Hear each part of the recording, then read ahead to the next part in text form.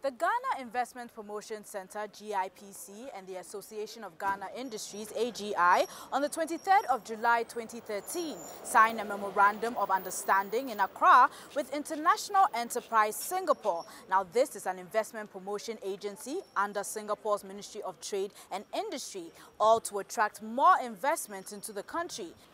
With this MOU, International Enterprise Singapore is expected to work with the GIPC, AGI and local businesses to promote meaningful business partnerships between the Ghanaian government and the Singaporean government. Tonight on eBusiness Journal, we profile IE Singapore's collaboration with our government. My name is Ama Pokia Mensah. Welcome to the show.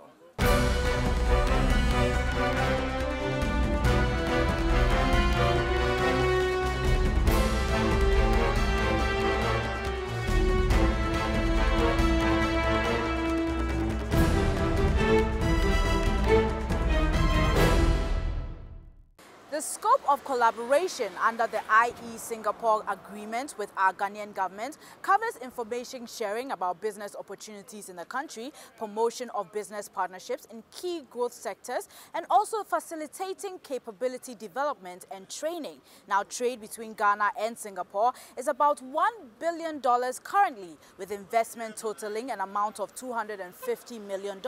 So what are the possible areas the country is likely to see some form of investment as a result of this MOU, in an earlier recorded interview, I sat down with Mr. Teo Eng Cheong, the CEO of IE Singapore, and Lee Yi Shyan, the Singaporean Minister for Trade and Industry.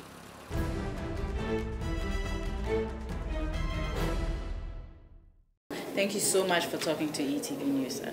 Thank you. We wanted to find out, looking at Singapore's success story as an economic su success story, you've been touted all over the world for what you have been able to do to Singapore. What can Ghana learn from your example? What are some of the areas you can point to that we need to change to develop? IE Singapore or International Enterprise Singapore is a government agency. Our role is to promote international trade and also help Singapore companies invest overseas. Obviously, Singapore companies are much more familiar with Asia. So we are very much into Southeast Asia as well as China.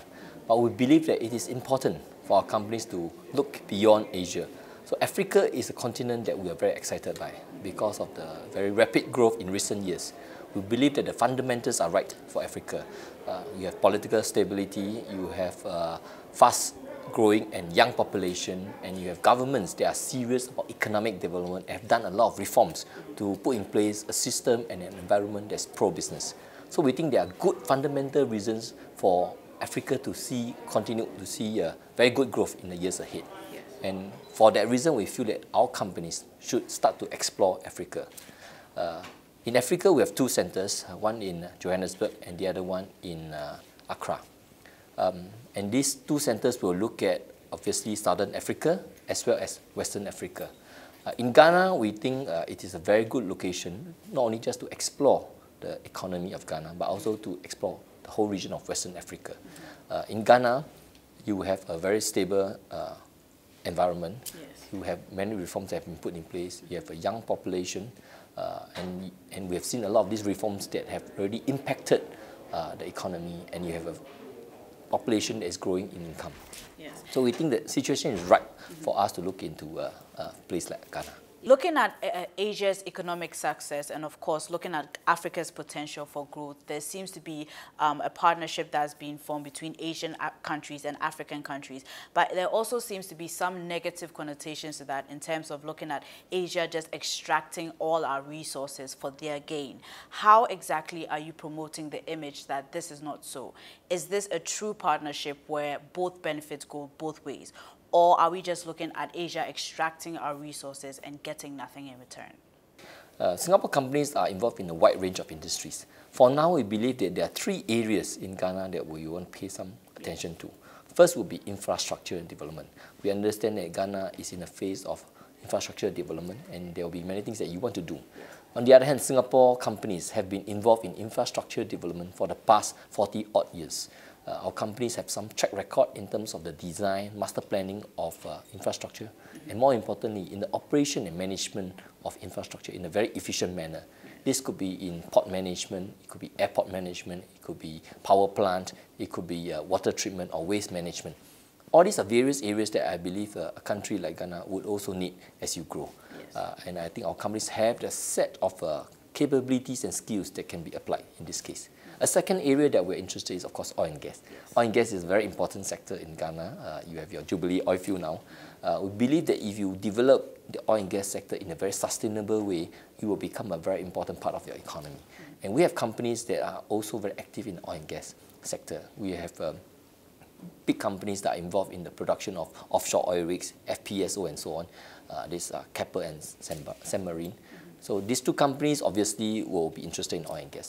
But beyond the bigger companies, we also have a second tier companies that are involved in uh, services, in supply base, uh, management, involved in uh, vessel chartering to supply these kind of activities to the top tier companies. So we believe that second tier companies would also be very relevant eh, as you develop the oil and gas sector. So, so oil and gas will be a second sector that we are very interested to explore. A third sector would be uh, really light manufacturing. Uh, light manufacturing in all kinds of goods. We believe that as the income of the people grow, uh, there will be increased demand for all kinds of things uh, in, in, uh, from food processing to actually very basic uh, materials and goods. So we believe that a lot of companies in Singapore would be able to uh, contribute in this area. One company, for instance, will be Olam. Mm-hmm. Olam is a big company in Singapore that is involved in the food industry, and in Ghana itself, it has got various food processing facilities. Yes. Yesterday, I visited the flour mill uh, that Olam has set up, and that will be something that is very relevant as Ghana grows. And you've mentioned the uh, potential Ghana has of being a great business destination in Africa and attracting a lot of foreign investment. But looking at the attractiveness of our businesses, have you taken in consideration the infrastructural challenges? Hmm. Because mm. if anything, you're offering us some infrastructural solutions to our mm. problems. But have you taken a look at how easy or how difficult it is mm. to hmm. do business in Africa, hmm. especially in Ghana? Obviously. Um, the infrastructure in Ghana today can be improved. And we believe that as you improve, things will become better. I think the most important uh, question is really whether there is a, a in, intention to develop this infrastructure. And from the various uh, meetings that we had with government officials and from what we can see, there's very serious intent to develop the infrastructure in Ghana and there are already things that are already being done. So we believe that uh, over time, this will get built up and the business environment can only become better over time.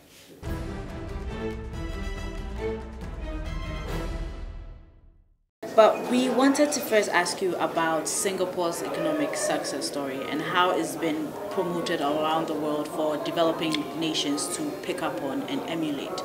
What, in your sense, can Ghana learn from Singapore now that we're going into partnership? Well, let me uh, start by saying that we should learn from each other. And uh, Singapore experience has been that uh, since we uh, become uh, independent in 1965, uh, our first priority then was uh, job creation. We had a high unemployment rate, and we had many people, you know, without much skill. So our first priority as a government then was to create enough jobs so that these people uh, can at least uh, you know feed themselves and uh, less people will be hungry.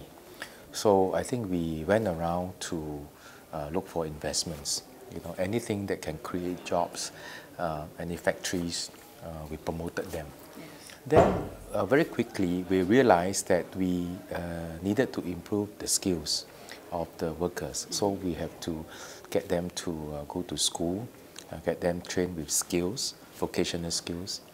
Uh, and then later on, we realized that we need to improve the infrastructure. We uh, needed more power. We needed to have better port. Uh, we needed to, to have a better airport. Mm-hmm. Uh, and at the same time, we began to build uh, public housing because yes. people were living in very poor conditions. I think uh, an important part of the sustainable development is really to, to, to plan for long term and then go according to your plan then you will not uh, waste uh, your land resources, for example. You will not uh, uh do things that will be detrimental to your city. Yes. And later on, you find that you cannot unwind the position. Mm-hmm. So as we uh, spent the last uh, two days here, we began to learn a lot more about Accra and about Ghana. Mm-hmm. so you have a lot of resources. that is a big plus. Yes. Singapore doesn't have that. And secondly, you uh, um, I think you, you have a critical mass of uh, market, you know, by yourselves. Mm -hmm. So a lot of the manufacturing uh, is actually possible. Uh, you also have a port, uh, uh, and you can actually expand on your port, and you can uh, plan this Accra city very well. Yes. So in all these things, Singapore companies have, you know, our experiences, mm -hmm. and we'll be very happy to share.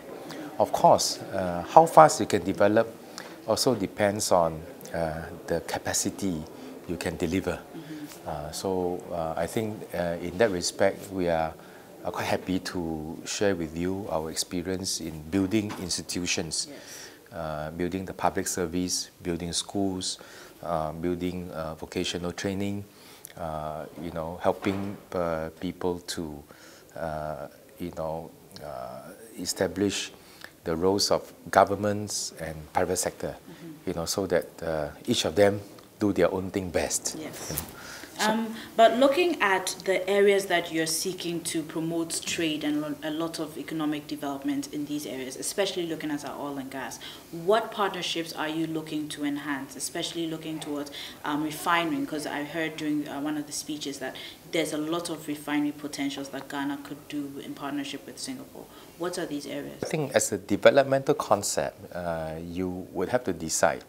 Uh, depending on how large your volume of uh, oil and gas production, yes.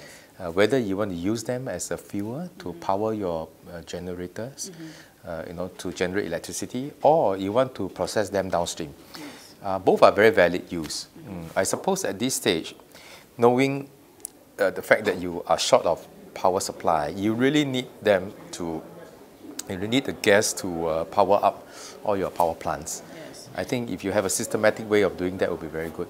Uh, other sectors will be uh, many. I think uh, I said urban planning is yes. one, because to you can imagine Accra as a beautiful city in 20, 30 years' time. And you're going to start the building blocks now. Where do you put the CBD? Where do you put the industrial estate? Where do you put residential? Where do you put public housing? You know, where are your commercial centers? Uh, and how do you link them up with uh, a good network of uh, roads yes. and perhaps subways? Uh, these are uh, all important considerations.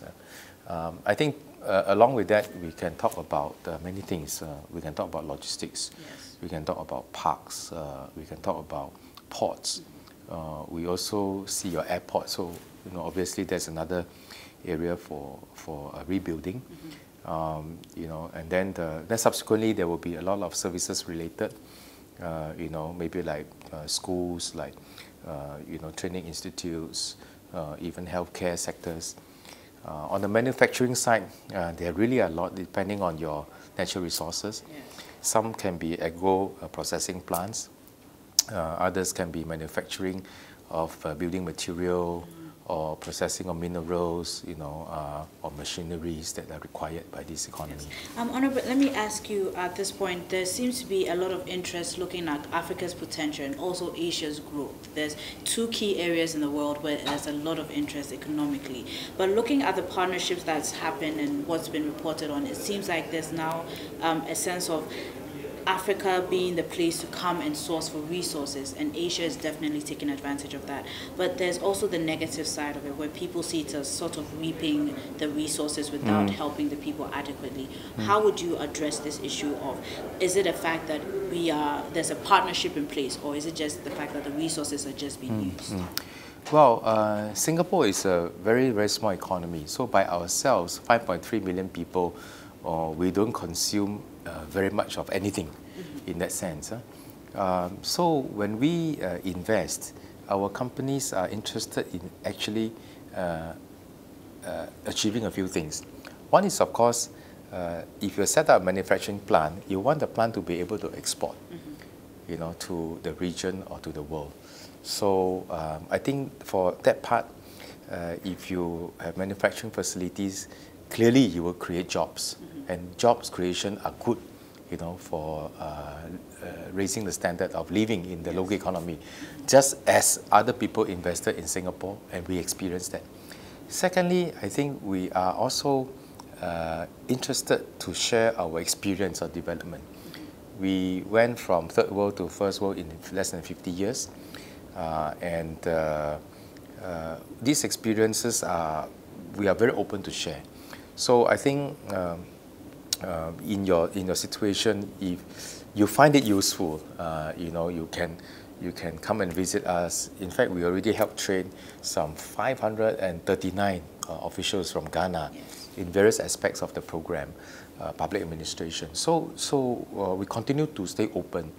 Uh, so if we invest, we will be imparting uh, knowledge uh, to your local workforce and uh, you know helping to skill up your, your workers or professionals. So they in turn uh, can start their businesses or can uh, you know uh, you know uh, uh, start uh, championing uh, you know the, the operations of uh, companies uh, in, in the country. So uh, so I think the the trend of growing Asia and Africa trade uh, will continue. Uh, I think for African uh, economies or countries, we uh, wish them well. We hope they continue to build on the capacity uh, because in the end, uh, if they are stronger and they are more independent, uh, they will make very good partners. Yeah. Okay. Well, thank you so much for talking to ETV. I know this was a bit impromptu, but thank you so much. Thank you. Yeah, thank you.